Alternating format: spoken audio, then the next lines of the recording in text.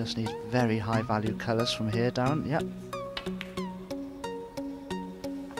Can you believe the shot we just played there? Snuck that red into the right centre. Perfect on the black. Can't imagine for a minute he could clear up and pinch this frame with this visit. If he did, what a body blow. Lost Eight. the second frame. Barry Hawkins, that is. It looked like a Nine. winning position. And all of a sudden, it looks like he's going to get back on the scoreboard. Ronnie O'Sullivan is still there, but that one has gone slightly awry. 16. He gets through to this red, just the corner pocket.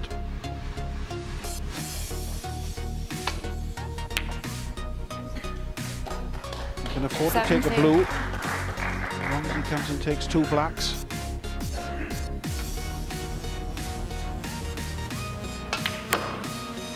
Well, you would say no, Dominic, if he gets eye on these reds to get back for the black, the only awkward ball's now going to be the yellow. What a steal this would be. 22.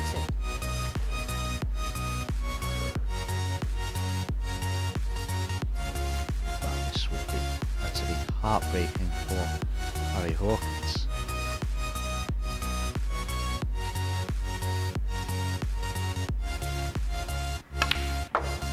He's already made some 23. fantastic clearances to steal the odd frame from Barry Hawkins.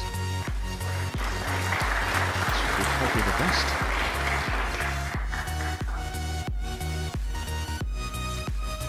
He was straighter on this black than he'd have liked. He had a wry smile to himself.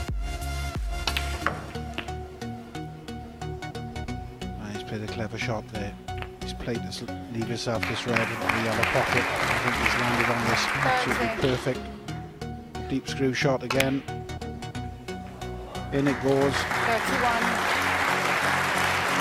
Looks like he's straight on the black. If he'd had an angle on this black, I think we'd have seen him try to move the yellow down the cushion. So it's going to be another deep screw. Lots of bottom on the cue ball. Played a shot like this yesterday and miscued. No problems today. That is looking absolutely perfect. So this is Barry Hawkins' last hope. 38. You could not put that free ball better with your hand.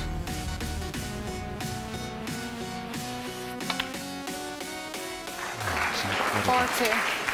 how quickly this man can just take a frame away from you. Barry probably 40. cannot believe that he's not going to get back to the table in all probability.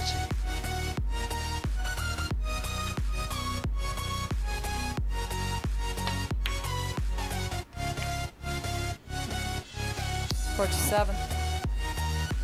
He's the wrong side of the blue.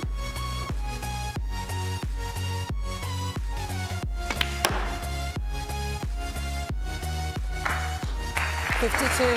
Well, he needs the cue ball. Oh, he couldn't have picked this cue ball up and put it any better. So Barry Hawkins started off with a 64 this frame.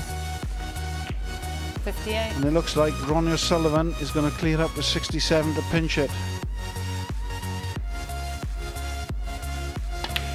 Well, what a ridiculous...